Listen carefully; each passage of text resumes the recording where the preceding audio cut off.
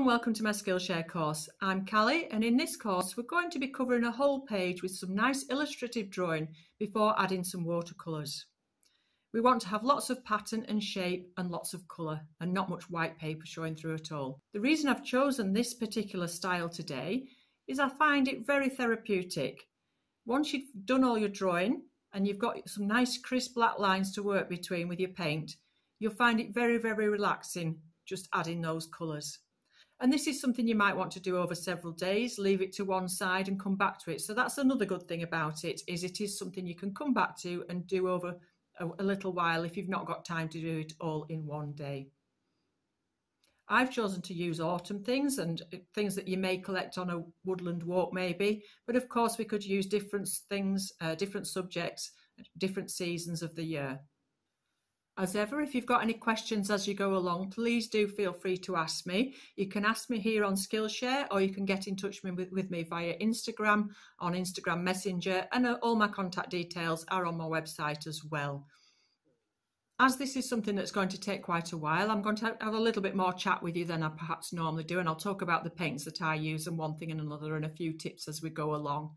So I'll get right on now. And in the first section, I'll tell you a little bit about what materials you're going to need as well. But I will put those down in the reference section. And I'll also put in the reference section the beautiful photographs that I'm going to be working from. But of course, you can choose um, some different ones or some objects that you have round and about. Okay, so I'll come back to you at the end and we'll have another chat about how it's gone. And I look forward to seeing your work as well. Um, but as like I say, any questions, please don't hesitate to ask. And I hope you enjoy the course.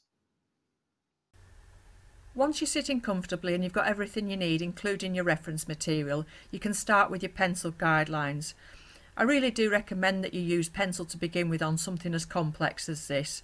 I do often just work with my ink pen without any guidelines, but when it's something like this, where it's, like I said, very, very complicated and a lot of drawing involved, I think it's perhaps best to start with a pencil, especially if you're not too confident in your drawing.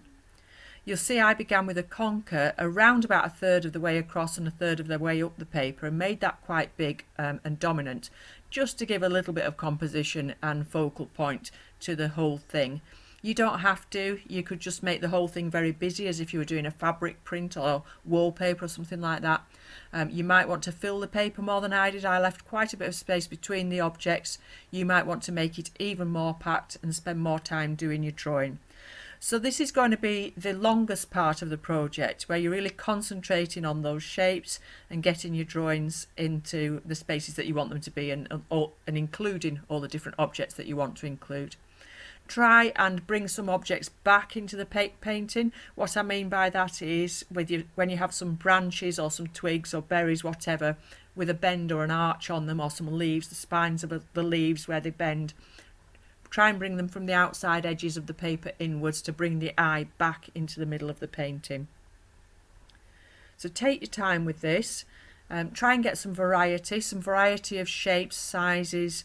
Um, you know, you've got a prickly conker and then you've got something very smooth with the conker itself. We've got the berries which are very um, I don't know what the word is, but you know, all those little texture with the little berries there and then some smooth leaves. So all, change things around and make sure you've got a lot of variety. Variety is the word I'm looking for there. Okay, so really take your time with this and concentrate on it and fill that page up nicely. And you'll see um, where I do leave the space, I put some extra lines in, which are just very abstract imaginary lines, splitting the paper up um, between the objects, which means that we've got some negative spaces and some enclosed spaces to put some colours in later on with the paint. So when you come to do the painting, it's actually going to be very relaxing because you're going to have those very solid lines there to work into.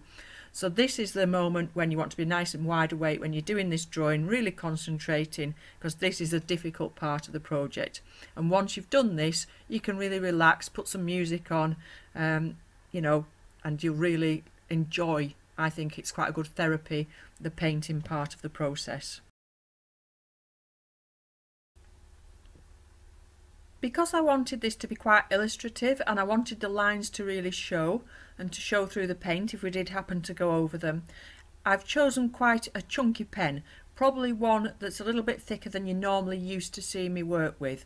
So this one is a size 1.5. It's an artist Pitt pen, Pitt spelt P-I-T-T, and it's a black one. So you can see the lines show up really well. So you need to be careful obviously because you can't erase your pen. I mean there are ways of getting rid of pen if you do make a, a big mistake. You go go over it with a white pen or something like that. There are there are ways that we could do that. But just be careful, especially if you've drawn things overlapping. I think I drew one of the acorns over the top of one of the leaves, so you've just got to be careful there where you're drawing your line around your leaf that you don't just, you know, get onto autopilot because when you're relaxed and you're drawing um, and you've got those guidelines there already with the pencil you can sort of be too relaxed and find you make mistakes. So just concentrate whilst you're doing this. I know I said that in the last thing when we were doing the pencil but once this drawing is done then the paint is the easy bit. So and I probably put more detail in with the pen than I did with the pencil. So although I've got those strong pencil guidelines there I've put some extra veins in the leaves and like I said earlier some extra lines across some quite abstract lines just splitting that space up giving us room to put lots of different colours in I've also added some texture into the acorns there on the little caps, the shells that um, that cover them and things like that. So keep your reference photographs handy. Um, and I've gone a little bit thicker and darker in places where there is absolutely no light. So for instance, in that little shell of the acorn there. Um, and I think that's it really for the pen drawing. You'll notice that I stop at the start at the top of the page um, and work across and down. This is so that my hand isn't resting on the ink, especially when it's still wet. Um, so I'm not smudging anything. So although this is a waterproof pen and it's a light fast pen, it does need to dry, you know, and even though it only takes a few short minutes to dry, just be aware of that, that it is a little bit wet to begin with and you don't want to be smudging your hand across it. So a good way to work is from, obviously depending if you're left or right-handed, from the top corner across and down. Also, when you've finished your ink drawing and you're completely happy with it, then you're going to need to erase those pencil guidelines because one or two of those lines you will have changed, you will have decided you wanted to alter things a little bit because we do that as we're drawing, we're making decisions all the time as to composition and detail, etc. So again, leave it to dry. Go and have a brew, although it only takes a few minutes, give it those moments to dry um, and then come back with a nice eraser something soft an eraser that you've cleaned off on a piece of rough paper um, making sure it doesn't have anything left on it from the previous time it was used. And don't go buying a cheap eraser that's going to spoil your paper. Um, have a nice good eraser and carefully get rid of those pencil guidelines so that we can go on and put the paint onto it once um, you finish the whole thing. Okay, so I'll come back to you very shortly with the next step, which is the paints. So for that, you're going to need to go and get your watercolour paints out.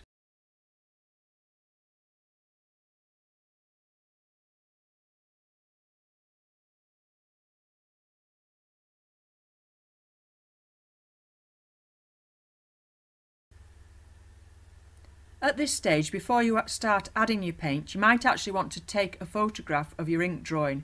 It's nice to keep on the computer in black and white and you can use it in the future, perhaps print it off and colour it in with crayons or something like that.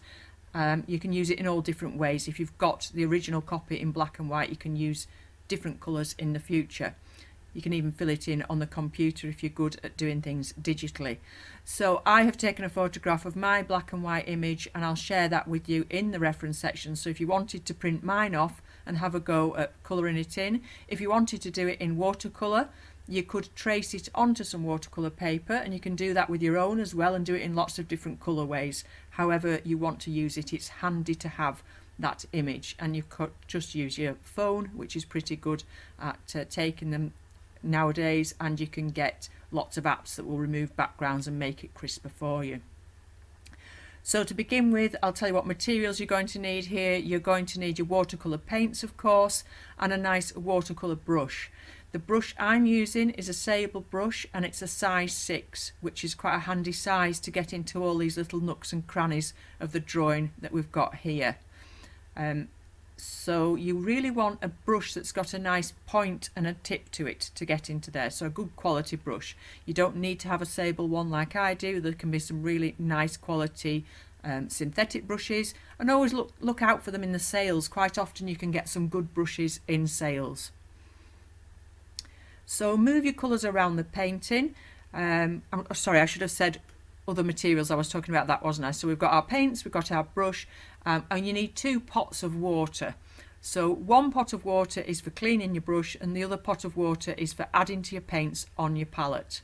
Your palette needs to be white. I've got a white ceramic palette and the reason for this is your colours won't show up true against another colour. They need to be against white so they're going to show up and be the similar colour that they're going to be when they're on your page white page once you put them on there if you haven't got a palette, of course, you can use a white plate or some kind of a white plastic tub. There's all kinds of food containers we get that can be handy for mixing your paints in.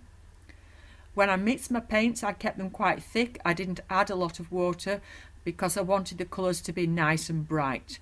You could also make your colours brighter by adding more and more layers, however you want to do it. But I wanted them nice and bright, so I didn't add a lot of water to begin with. The only thing with this is it does mean your paint is going to dry more quickly. So some of the spaces here are larger than others. There's that big large leaf at the top.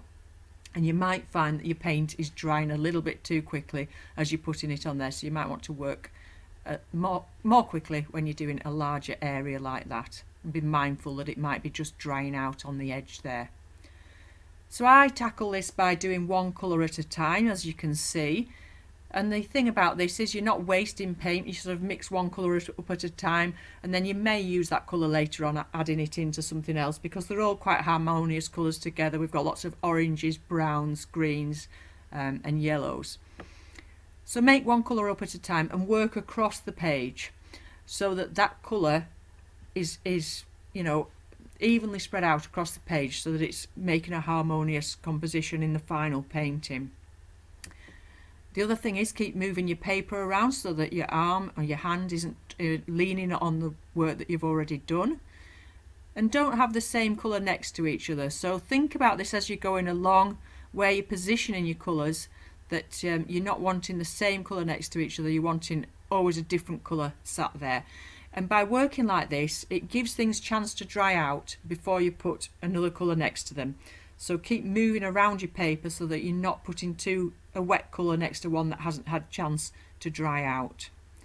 So I did use other colours other than the oranges and the greens and the browns which are very you know what we think of as being autumn. We've got the lovely little cyclamen there. I have some of these in my garden. Those down in the bottom right hand corner there and they're a lovely pale pinky mauve colour. Um, and they're absolutely beautiful to be flowering at this time of year in the bottom of the the wood and the, the flowers come first before the leaf and they, they're just so pretty in amongst the autumn leaves that have fallen down. So that's a bit of an introduction of another colour into it, um, but still an autumn colour because they're an autumn flower and that and they're there. So lovely to introduce that little bit of colour there. And of course with the blackberries as well, there's quite a bit of pink and red in those. So we've got all sorts of colours going across the page there. So it's just making a very cheerful picture really. So pop some music on and enjoy doing this part of this project because it really is very relaxing. As I said earlier, I do really think this is quite a therapeutic thing to do.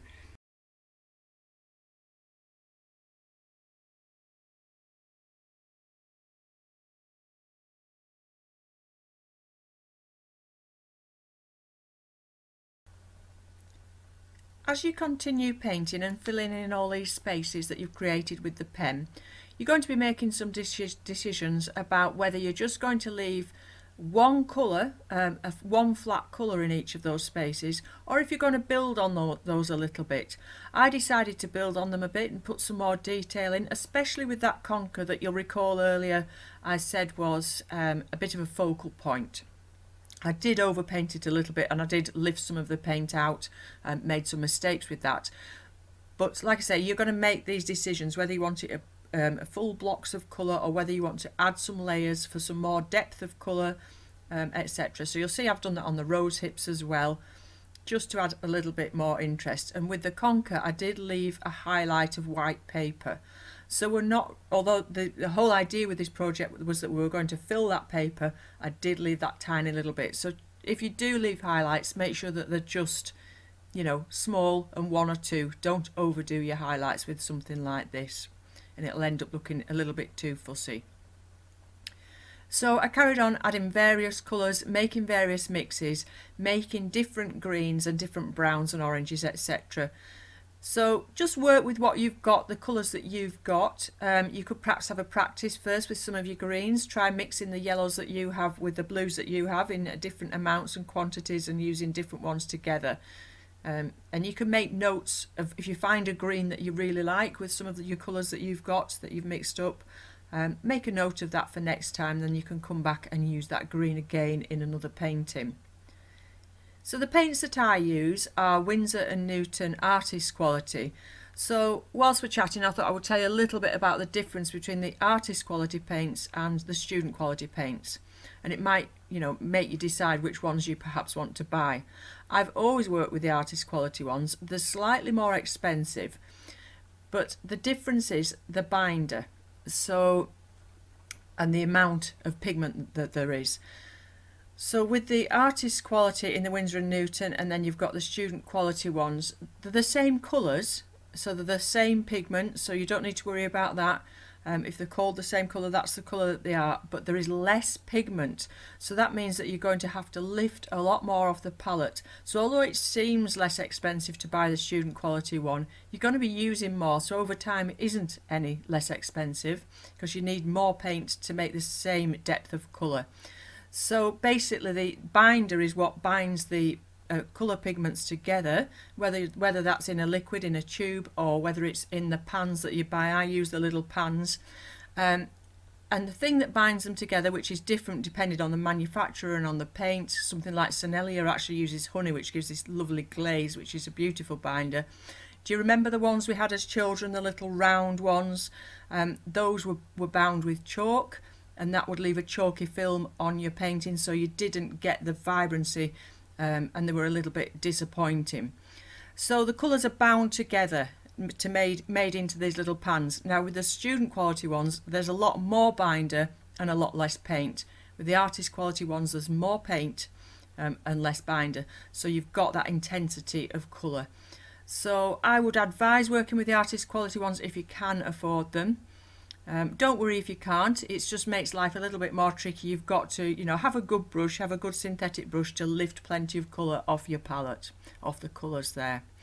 Okay, so that's a little bit about what I do. So I use, um, I've had the same set for years. I use Winsor and Newton, and I do have a Sennelier set as well, um, which, like I say, uses the honey binder, and I take that out with me. That's a little travel set, and those have got a really vibrant colours in them so I like those as well. So I have bought some extra ones um, to use alongside my Winsor and Newton paints. So just a little bit about my paints really there. Um, and as far as brushes go like I said earlier I do um, use different brands of brushes because I tend to get them in sales and things like that but you can get some really good uh, synthetic brushes. You don't have to use um, the sable ones which are obviously more expensive. The sable ones I have were all bought in sales Okay, so that's uh, about it for that. You'll see I've added some blue um, just to make us feel like we've got a little bit of sky coming through there. You would don't have to do that. You could make the whole thing just those autumn colours. You could add extra greens and browns behind as if we've got more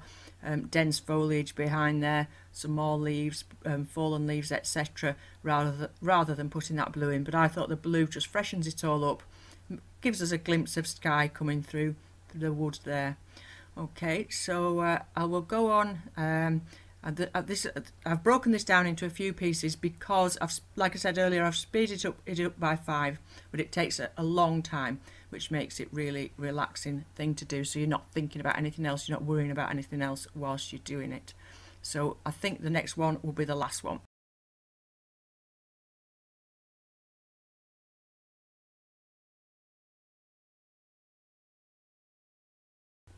In total, this took me well over an hour and a half of non-stop painting without any breaks to completely fill the page here. And it's not a, a very large painting, so you know you can see how long it's going to take you. And you might want to do this over several days. It's a very nice project just to have on the side. If you've got the space just to leave things out um, you could leave this out and just whenever you've got 10 minutes to spare or 5 minutes to spare just get one colour out and do one section and then when you come to it the next day um, that's obviously going to be nice and dry and the colours aren't going to run into each other. So it's a good project just to have on the side if you've not got lots of time to sit for an hour or two at a time to just have over several days.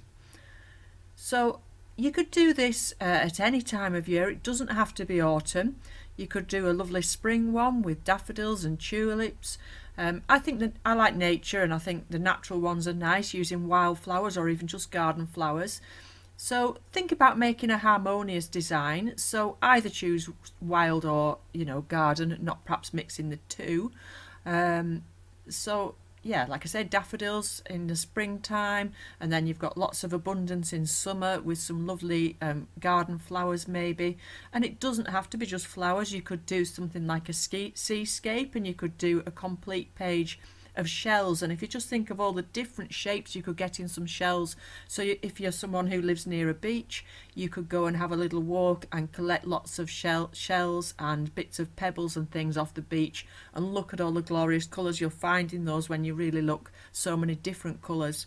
Uh, it might be a bit more subtle than this one and very very different in style you know of the subject but uh, equally as satisfying so you could actually have a few on the go, which would be very nice. Um, and don't forget when you've finished to take a photograph of your finished work. And you might want to use this for something. You might want to frame it as an artwork in itself. You could even make it into a jigsaw. There's all sorts of um, things online where you can make your works into jigsaws or you can have your works printed on things, cards, etc. Like I mentioned earlier, fabrics and things like that would be a lovely design for something like that. You might even want to be really technical and do a repeat pattern. That's not something I've had the patience to do here, but it's something you might want to look at if you're a more patient person than I am. So there's all sorts of applications for this kind of thing, a bit of a mixture between realistic, illustrative and abstract with those shapes in the background um, and giving us lots of colour and that time to just fill in all these things and really relax. That was one of my main reasons for doing this was because when I do it I find it very relaxing. You really switch off from all your problems because you're concentrating so much on getting those colours within the lines um, and so you're not thinking about any everyday kind of worries. So uh, that's one of the things I wanted to, I know I've repeated that but I really wanted to get that across to you how therapeutic that this kind of thing is. Because you do that initial drawing you put all that effort in um, and then you've got that image if you've taken a photograph of it and you can colour it in all different colours.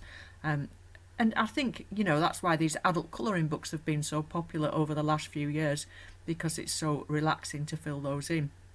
So that's actually another thing you could do. You could make an adult colouring book. Um, you could do all the seasons. You could, you know, start in spring and go through all the way to winter, um, doing different things. And you could, like I say, some seascapes. You could think about different areas of the countryside, woodland uh, compared to meadowland. There's no end of ideas that you could do with these kind of designs. Okay, so I'll uh, have a little chat again now we've finished. Um, and yeah I hope you've enjoyed that because I've really enjoyed doing it for you so take your time with it and enjoy it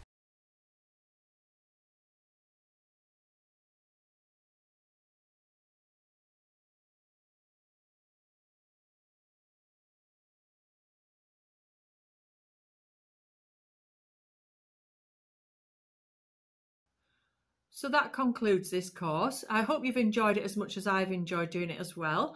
Um, I do apologise for it being a little bit on the lengthy side with the chatter because it was a very lengthy process, which made it that relaxing process that we talked about.